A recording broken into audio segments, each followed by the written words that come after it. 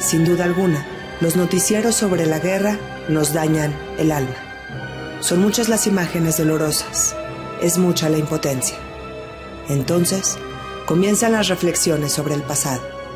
Ojalá los fundadores que se reunieron en 1987 para formar la organización Hamas hubieran leído la Carta de Independencia del Estado de Israel. Esa misma Carta de Independencia que David Ben Gurión pronunció aquel 14 de mayo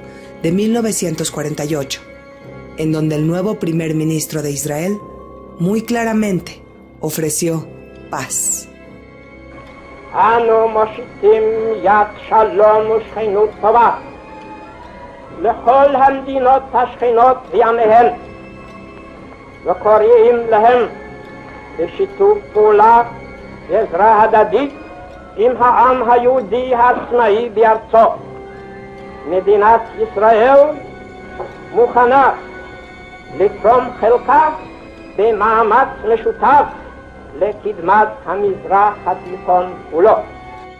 Ante estas palabras, ojalá jamás hubiera elegido un portavoz ecuánime, líder, que realmente ame a su pueblo y que busque una paz con Israel justo como lo hicieron los mandatarios de Egipto y de Jordania, países que hoy no se sienten amenazados por Israel ni amenazan al Estado judío.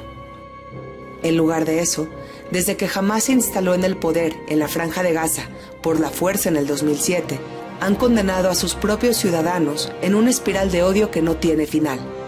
Los niños son educados para odiar.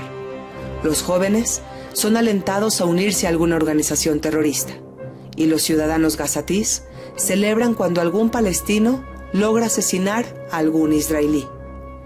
Definitivamente, será un círculo vicioso del que no será fácil salir. Hoy, a los que sí vivimos en el siglo XXI, nos ha quedado más que claro que nuestro peor enemigo es el fanatismo.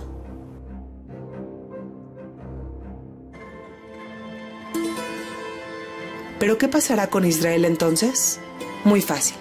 Israel se recuperará, como siempre lo ha hecho, pues vivir rodeado de enemigos lo ha convertido en un país fuerte, y es esa fuerza por la que logrará salir adelante una vez más. Tristemente, no todos los soldados volverán a casa, y no todos los rehenes secuestrados volverán a sus hogares con sus seres queridos. Pero el objetivo será cumplido.